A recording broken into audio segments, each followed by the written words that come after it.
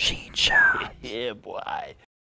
Ladies and gentlemen, we are officially getting an Outward 2. Most of us thought this was just a dream and that our beloved RPG Outward would never get a sequel. Well, boy, were we wrong. The recent trailer shows us just a glimpse of what we can expect from this new, brilliant adventure. And fortunately, they showed us way more than you probably thought. I am in complete awe and shock with this, and am only sad that I'm not playing the game right this second. Let's take an in-depth look at this trailer and see what the game is all about.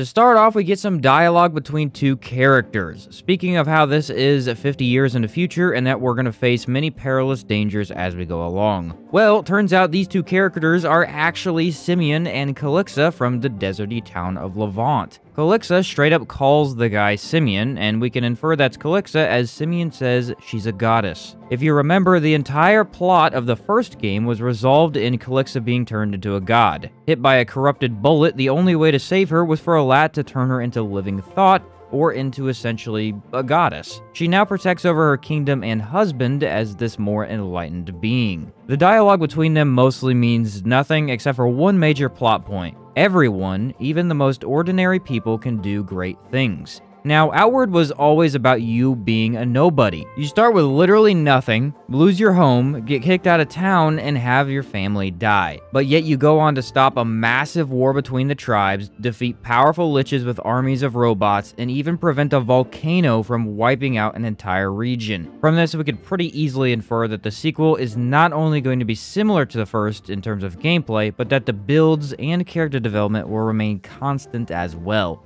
fighting pearl birds and troglodytes with a mere wooden plank shield, only to defeat monsters and craft powerful gear from their bones. This is, in every single way, a direct sequel. The only change here is going to be the setting and any new things they decide to add.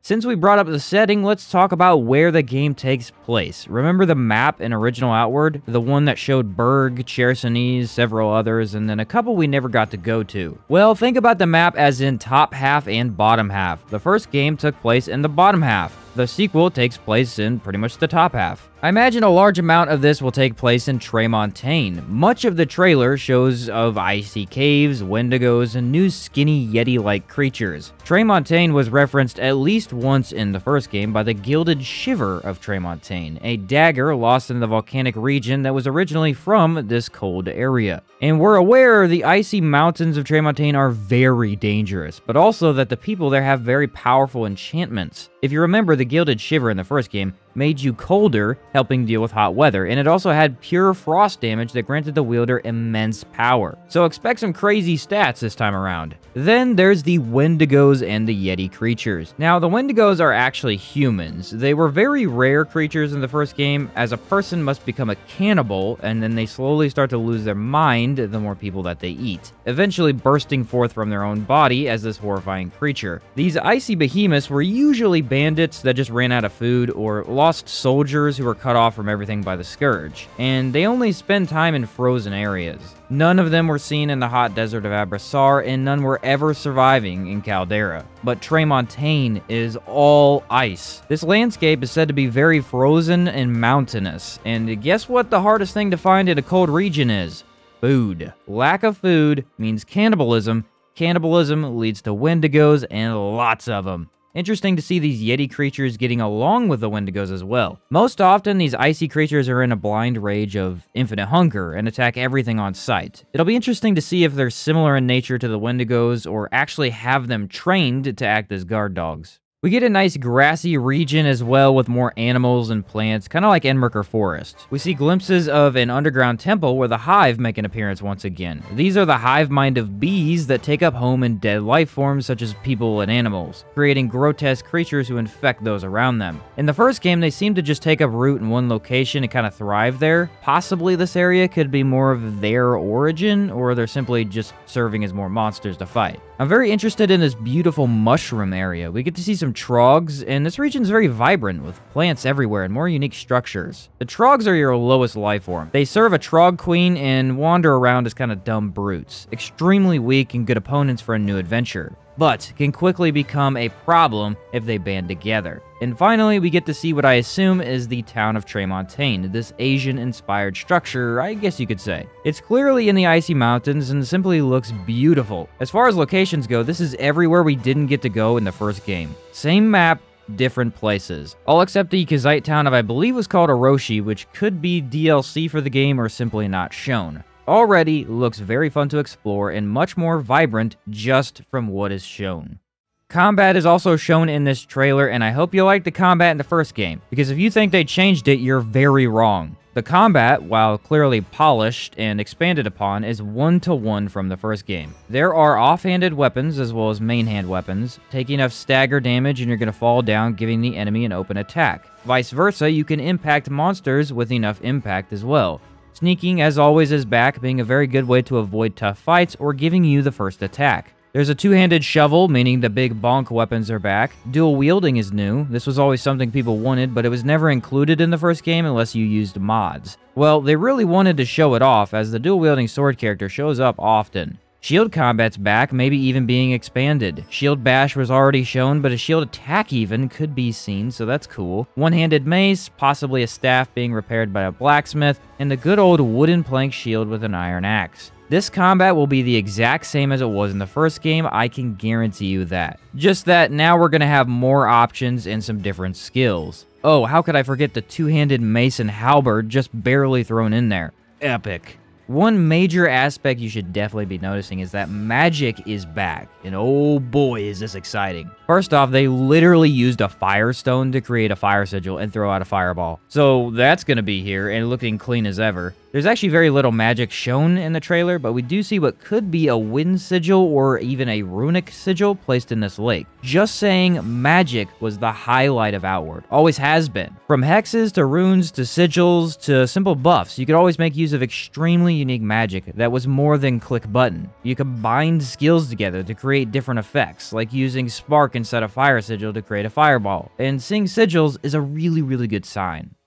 Well, a game like this is nothing without good enemy variety, and Outward has always been 10 out of 10 when it comes to this department. There are six total regions in the first game. Each of them had some similar enemies, but all had ones that were unique to that environment. Dinosaurs were in the swamp, deer and manticores were in the forest, large bugs wandered the desert, and nightmarish demons could be found in the volcanic region of Caldera. The entire combat system relied on you taking on a different opponent and constantly needing to learn their weaknesses and strengths to defeat them. Well, clearly this sequel is sticking to that exactly. The new Yeti-like creatures look agile and similar to fighting bandits. Some more animal creatures, one being a boar-looking thing that prowls around the grass area, the deadly bee-like hivemen are back. Some new killer whale-looking fish in a river that look terrifying. And, um, a freaking ice dragon? Well, I mean, technically it's more of an ice lizard, but come on, that's awesome! Giants are back, which means we might finally get more lore on them, and their combat was always some of the best anyway.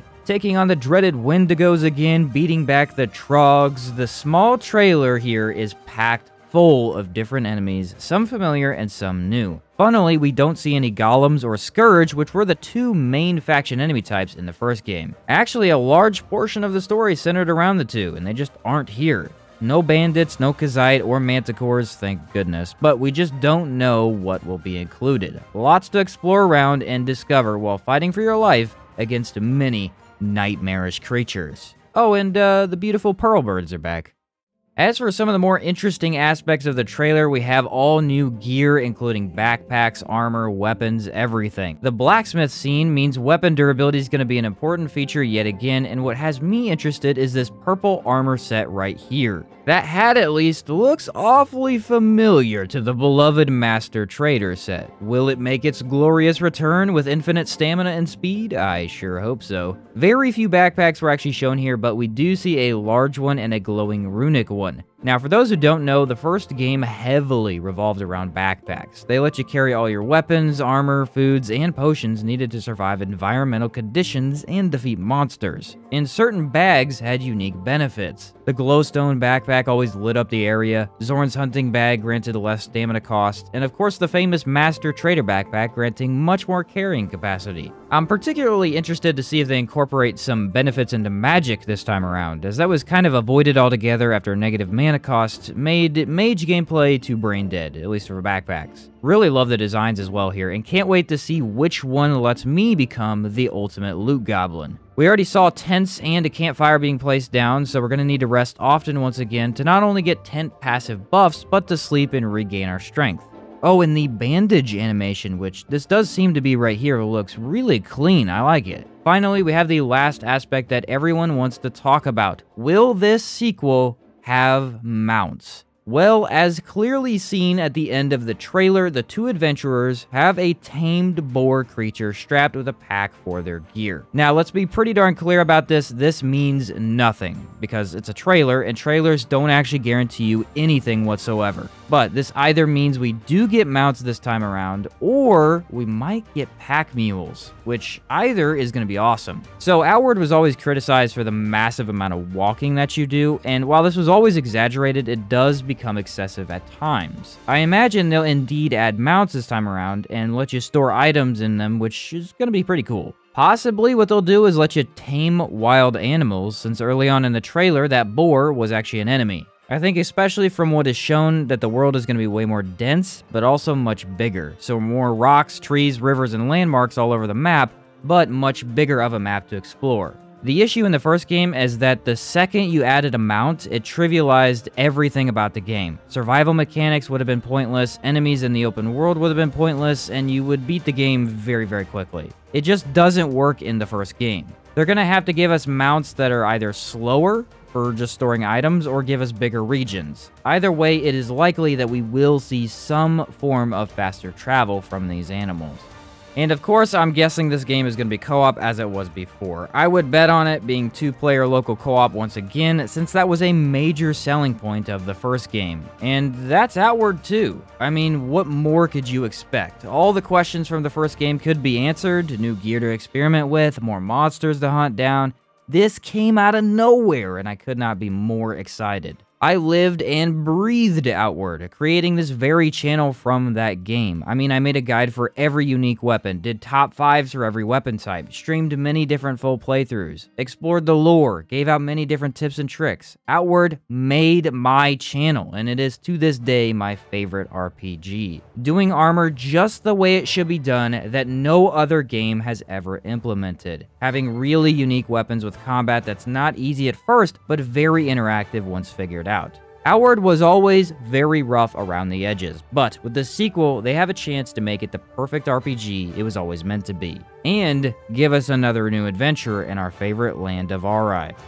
Before I end this video, I do want to mention that the CEO of Ninedots, who made Outward, did a stream where he released more information about Outward 2, and so here is all of the relevant information I could find. The story will be much more fleshed out this time. There are no mounts, instead the animals are used only as pack mules. No fast travel, just like in the first game. Eight total skill tree trainers will be included. Haboob is in the game. The same soundtrack designer that worked on Outward will be working on the music for Outward 2. The seasons will change in a more year-round calendar this time.